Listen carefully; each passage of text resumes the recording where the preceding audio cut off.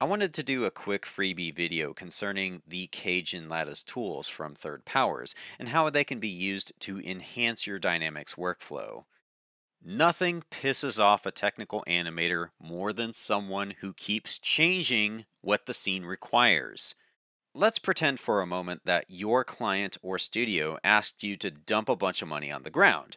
So you do that and assume that this is the gist of what they wanted. After you bake this animation and package it up all pretty and send them your completed work, they come back to you saying that they forgot to mention that the money needs to be dumped onto a person lying on the ground.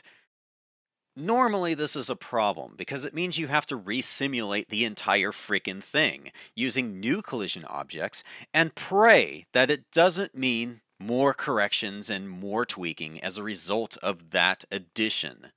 Let me show you a way to resolve this problem using the Third Powers Lattice tool. I use lattices a lot to adjust cached animations because it works on top of everything.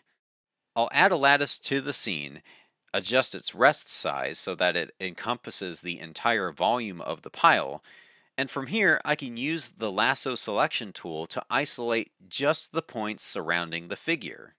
Now I can sculpt these points so that the figure gets covered properly. Long story short, just keep in mind that cage and lattice tools layer on top of everything, including cached animations.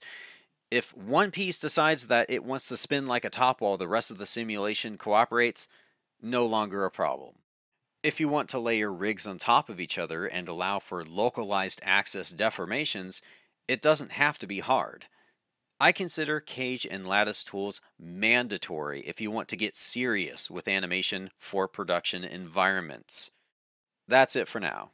Know that you can get so much more cutting edge learning content by checking us out at liberty3d.com. Thanks for watching.